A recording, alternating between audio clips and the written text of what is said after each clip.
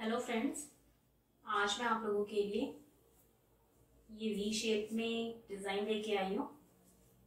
ये देखिए।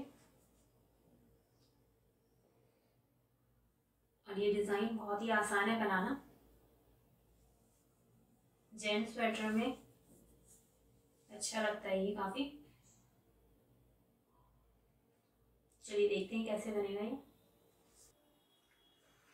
इस डिज़ाइन को बनाने के लिए हमें नाइन के मल्टीपल में फंदे डालने हैं प्लस दो फंदे हमें एक्स्ट्रा डालने हैं। चलिए स्टार्ट करते हैं। ये हमारी फ़र्स्ट रो है। बॉर्डर के बाद जब आप इस डिज़ाइन स्टार्ट करेंगे, उसके बाद ये हमारी फ़र्स्ट रो है राइट साइड की। ये हमारी एक्स्ट्रा स्टिच है। इसके बाद हमें तीन फंदे उल्टे बिनने हैं।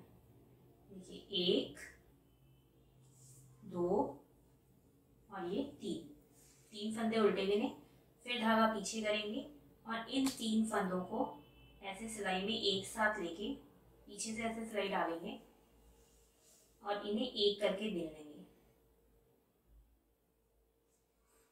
फिर इन्हें निकालेंगे नहीं, फिर धागे को ऐसे गोल घुमा के वापस पीछे ले जाएँगे और फिर से इन्हीं तीन फंदों में डाल के इन्हें सीधा बिन लेंगे ऐसे देखिए हमने तीन फंदों के दोबारा से ये तीन फंदे बना दिए फिर धागा आगे करेंगे और तीन फंदे हम उल्टे बिनेंगे। एक, दो, तीन। फिर हमारा पैटर्न रिपीट होगा। फिर हम तीन फंदे उल्टे बनाएँगे। तो हमारे ये बीच में छह फंदे उल्टे आ जाएँगे।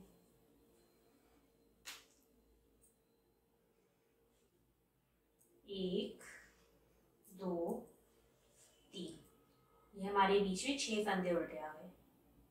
फिर धागा पीछे करेंगे और इन तीन फंदों को वैसे ही रिपीट हो रहा हमारा पैटर्न फिर से तीन के तीन बनाने हैं हमने इनको। देखिए ऐसे। ये करा, फिर ऐसे गोल लपेट के पीछे ले गए इसको और फिर से ऐसे बिन दिए फिर धागा आगे करके वही छह फंदे हम उल्टे बिनेंगे ये तीन बिने ये एक, दो, तीन। ये पूरी सिलाई ऐसे ही कंप्लीट करनी है हमने। अब ये हमारी सेकेंड रो है रॉन्ग साइड की। इसमें हमें जो फंदा हमें जैसा दिखेगा वैसे ही बिनेंगे हम।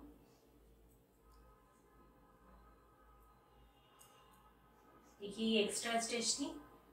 उसके बाद हमारे ये उल्टे फंदे हैं। यहाँ से हमने ये उल्टे बिने थे तो अब यहाँ से हम ये सीधे बिनेंगे एक, दो, तीन। ये तीन फंदे हमने पीछे से उल्टे बिने थे तो यहाँ पे सीधे हो जाएँगे। जो जैसा फंदा हमें दिख रहा है, वैसे ही बिनेंगे हम। अब धागा आगे करेंगे। फिर ये जो तीन, के तीन फंदे बनाए थे हमने, वो हमें उल्टे बिनने हैं। दो फिर धागा पीछे करेंगे। और बाकी फंदे सीधे। ये पूरी सिलाई हमें ऐसे ही कंप्लीट करनी है। अब देखिए, ये हमारी थर्ड रो है राइट साइड की। ये हमारी एक्स्ट्रा स्टिच है। इसको हमने निकाला, फिर धागा आगे करेंगे और ये दो फंदे हम उल्टे बिनेंगे। पहले हमने तीन फंदे बिने थे, अब दो फंदे उल्टे बिनेंगे।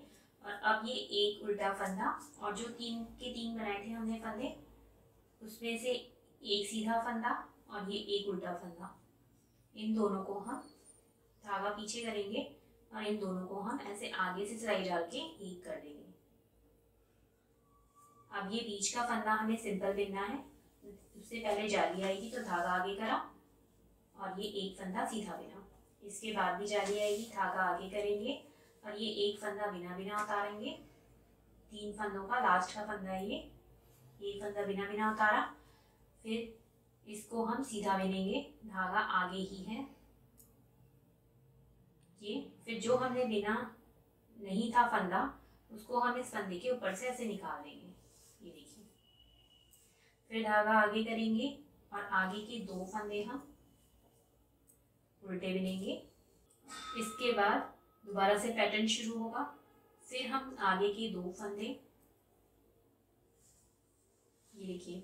उल्टे भी बिने तो हमारे ये बीच के चार फंदे हो गए। और इसका एक फंदा और इसका एक फंदा। ये उल्टा एक फंदा एक फंदा सीधा। धागा पीछे करके इन दोनों को आगे से सिलाई डाल के ऐसे सीधा बिन देंगे।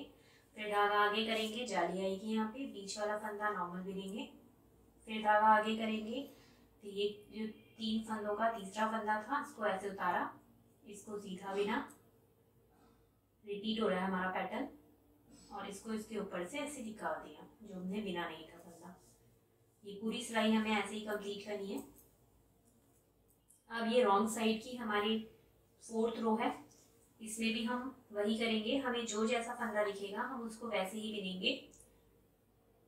ये देखिए दो फंदे हमारे सीधे हैं तो हम इन्हें सीधे बिनेंगे।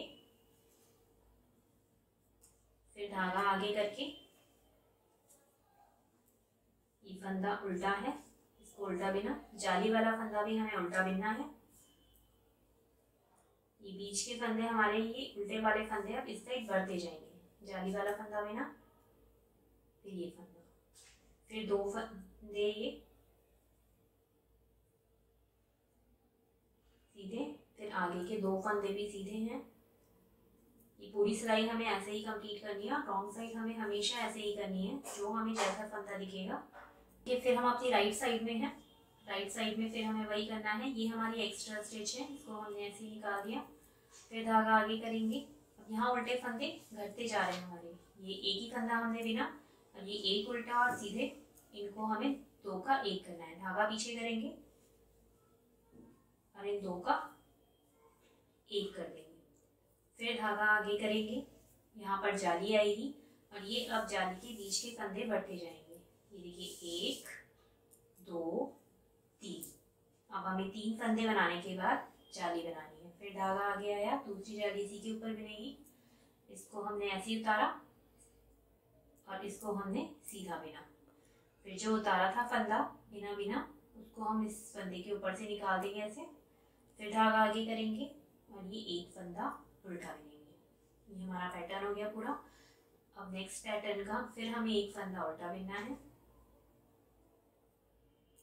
तो ये बीच के दो फंदे हो गए। फिर धागा पीछे करेंगे। ये दो का एक करा, धागा आगे करा, जाली आएगी। फिर ये एक, दो, तीन फंदे बिने। फिर धागा आगे करा, इसे बिना बिना उतारा, इसको सीधा बिना।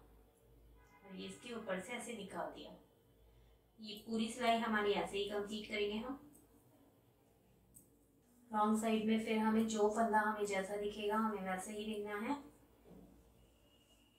अब रॉन्ग साइड के फंदे हमारे ये एक ही बचा है सीधा फंदा। धागा आगे करके।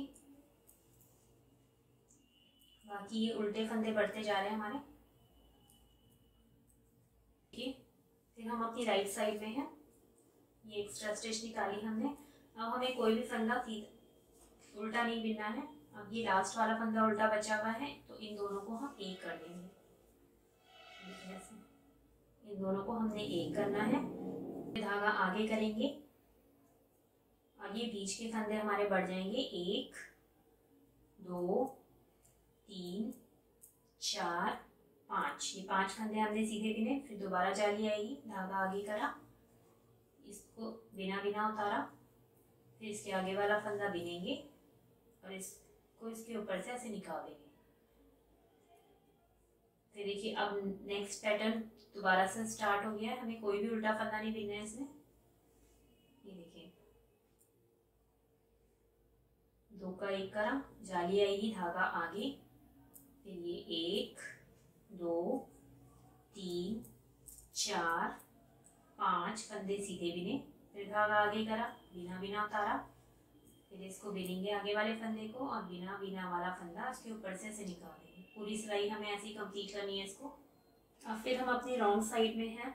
अब देखिए ये लास्ट रो है इस डिज़ाइन की और ये अब पूरी उल्टी ही बनेगी, जैसे हम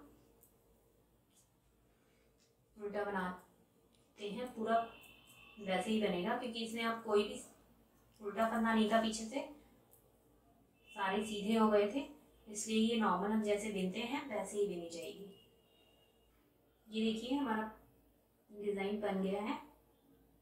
ऐसा लुक आएगा इसका। वी शेप का लुक आता है इसमें। Thank you